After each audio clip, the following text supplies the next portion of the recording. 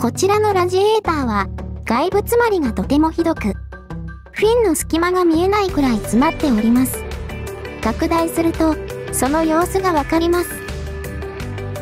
また、今回、お客様のご依頼で、コアチューブが3列のものから4列に仕様変更しますので、コア増し改造を行います。今回の製品は、メーカーはヒゴ。車種はレンジャー。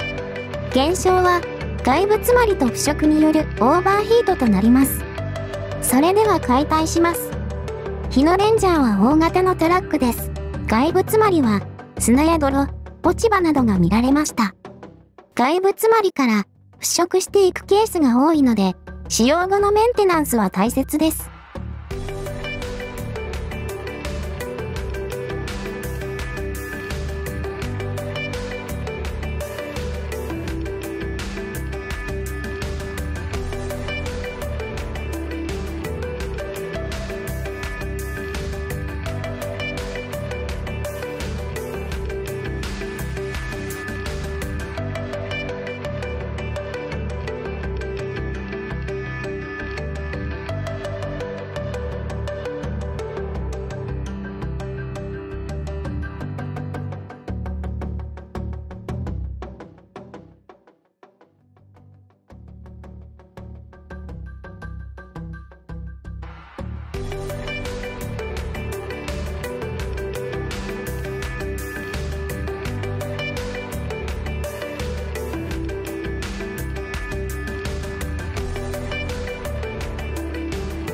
内部の汚れもひどいです。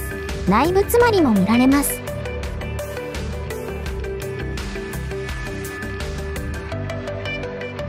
コア以外のパーツは再利用できましたので、新品コアはコアチューブが4列のものに変更します。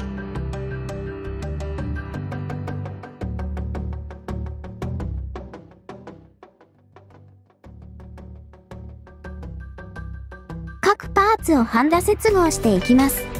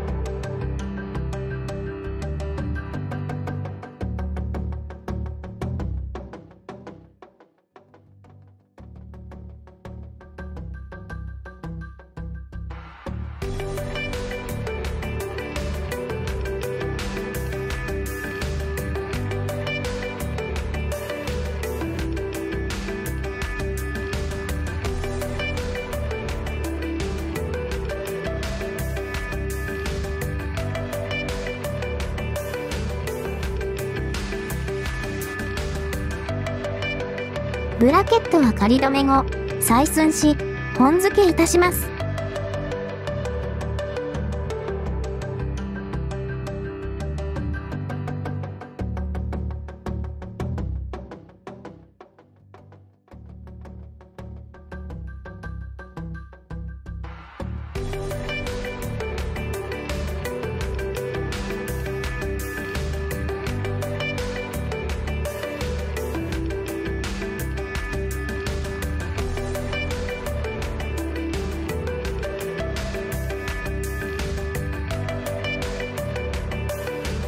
作が完了しました。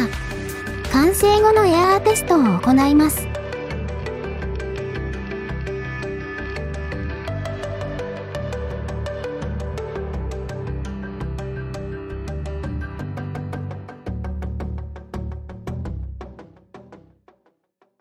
こちらは塗装後の完成写真です。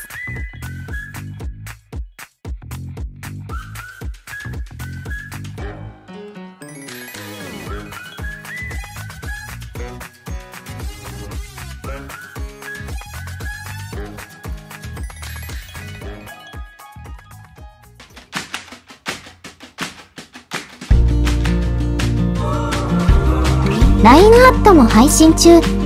当社の最新情報をゲットしてください。